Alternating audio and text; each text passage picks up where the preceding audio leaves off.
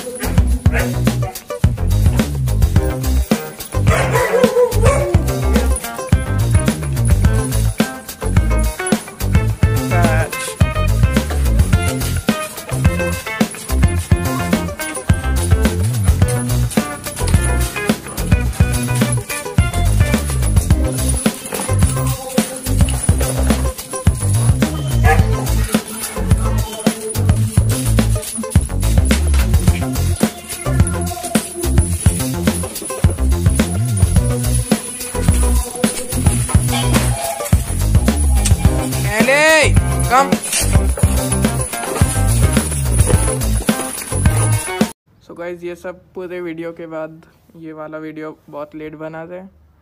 उसके बाद इसको स्वीटी को दो इंजेक्शन्स पड़े थे पीछे। और जो गाठ थी मतलब जो ट्यूमर जैसी चीज़ थी, वो यहाँ पे थी, यहाँ पे। ऑलमोस्ट इतने साइज़ की थी, इतने। और उसके तीन दिन बाद जो डॉक्टर ने बोला था कि तीन दिन बाद ठीक हो जाएगा, दो इंजेक्शन्स के बाद वो इतनी इतनी रह गई थी और अभी और छोटी है। और डॉक्टर ने बोला था, कुछ नहीं थोड़ा सा हार्मोनल चेंजेस की वजह से होता है। क्योंकि उस टाइम पे इसकी हिट भी मतलब शायद से ख़त्म हुई थी।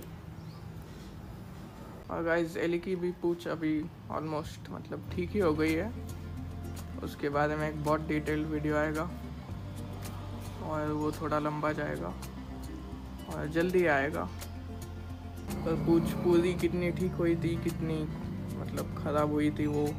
वीडियो में पता चलेगा, क्योंकि जितना डैमेज था उतना हमने कभी वीडियो पे दिखाया नहीं। जो पिछला वाला वीडियो आया था ना बर्थडे से पहले का, उसमें पूछ के बाद में मतलब कुछ दिखाया नहीं है। फिज़िकली मतलब क्या डैमेज हुआ था, वो अगले वीडियो में आ जाएगा। तो तब तक के लिए अगले वीडियो का वेट कीजिए, और चैनल को सब्सक्राइब कीजिए। तब तब तक के लिए टाटा बाय बाय